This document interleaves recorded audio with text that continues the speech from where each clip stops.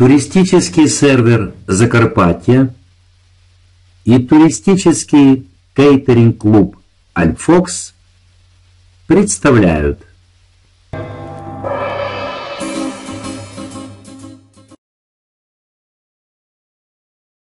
И прямо перед вами полонина ровная – Обратите внимание, какая красота перед вами.